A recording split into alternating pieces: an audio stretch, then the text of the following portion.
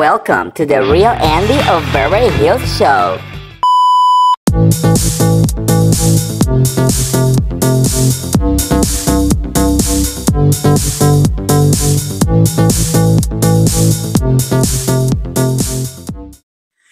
Hello, everybody, troop. Welcome back. I'm the real Andy of Beverly Hills, and welcome to another day full of tea. It is Wednesday. It is the middle of the week. Happy Hump Day to every single one of you.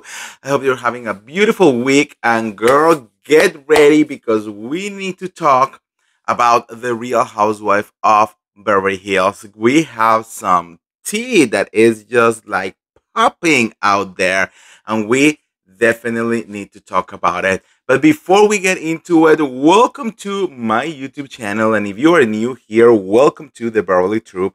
Over here, we keep it real and we mention it all. So if you want to know what is happening inside of the Bravoverse with the pop culture street and more, well, you know what to do. Subscribe, subscribe, subscribe, and hit that notification bell. And also, very important, guys, I want you to leave all of your comments down below on every single issue that we are talking. I want to know every single one of your opinions because that's the most like fun part of doing this is interacting with you and knowing what are you actually thinking. All right, guys. Let's talk about this uh, mess. So let's start by the fact that ex housewife of Beverly Hills, Crystal Minkoff, just debuted her podcast. You know, it's called Humble Brag with none other than Cynthia Bailey. Okay. First episode, it's already out there. I just want to give it a shout out because I actually listened to it and it was really, really good. The chemistry between the two of them is just on point, you know. And I was also listening to like the like the official interview that they did before the podcast with um, Nick Viall for his podcast, you know, and girl, they are already like spilling tea. Like there are so many things that they're already uh, spilling out there. And there was just little pieces that I don't know if it was just like, a, oops, I just mentioned it, but we kind of like need to talk about, you know. So, according to Crystal Minkoff, she said that Dorit Kemsley is definitely going to be on the hot seat next season. But there is a weird catch in it. Okay. Um, as you know, and I told you this uh, before, guys, uh, Beverly Hills is moving into a different direction next season, you know? And they kind of like want to bring like the fun, and, you know, like we are all friends, you know? And yes, we have little problems here and there, which is what usually has been working out. You know, it works out in Miami, it works out um, in um, well, basically just in Miami. Well, Dubai also. Dubai is also doing something like that, which is just like girls being girls, having fun, and just having like a little bit of issues here and there, which are not really that toxic, right? So they really want to move into that direction. And uh, one of the things that Crystal confirmed is that she doesn't know how it's gonna be, how it's gonna be seen, you know, because everyone is basically getting along with everyone. You know, I can confirm you guys that all of the girls kind of like did. I mean, I don't, I don't know if this was like an official pact, but like they definitely are kind of like being okay with each other. You know, people are forgiving everyone, forgiving and forgetting. You know, and moving on. Like I can tell you that even Kathy Hilton is in in an okay situation with Erika Jayne you know so it, it's kind of like everyone it's kind of like getting over all the pettiness you know and it's like okay let's just drop everything and let's kind of like start from zero. That doesn't mean that it's not gonna be a drama and we have to now talk about the dorit kemsley of it all. Now we know that dorit kemsley is gonna be going through like the separation or divorce or whatever and according to crystal uh, definitely the first part of the drama is going to be between um, Dorit Kemsley and Kyle Richards. You know, um, the two of them definitely are gonna be going um, after each other at the beginning because that's how last season ended.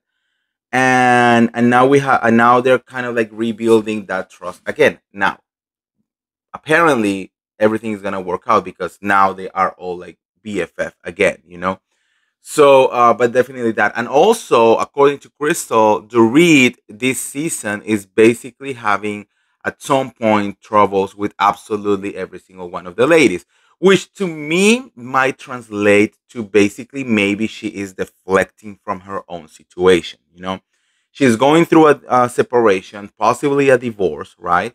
And maybe she doesn't know how to act that part in front of the camera because she's so used to trying to portray that everything is perfect all the time that now having to show that non-perfection maybe that is going to like somehow like you know shake her and then she's going to start deflecting and just having stupid issues with absolutely every single one of the ladies.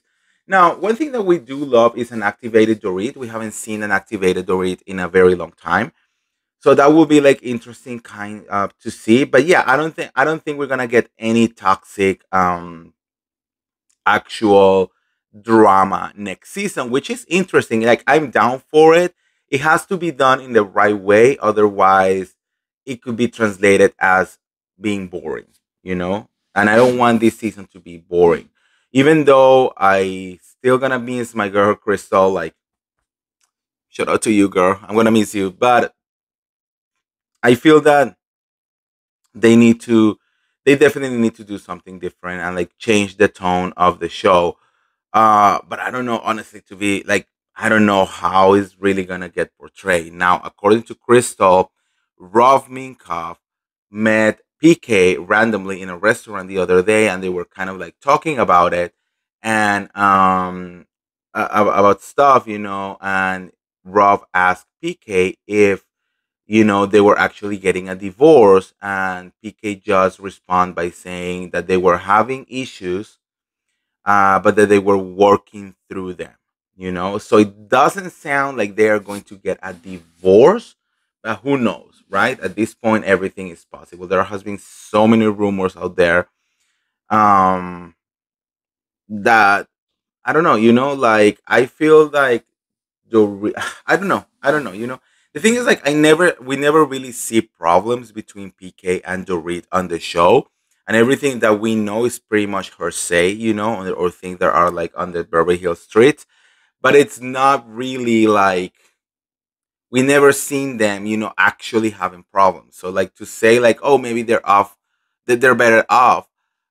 I don't know how much how true that will be. You know what I mean? So I think that part like it's a little bit interesting. Now, in another pieces of like quick news, uh, this was not said by Crystal. This is another thing. But Kyle Richards apparently did come forward saying that she actually filmed a lot with Mauricio Umansky next season.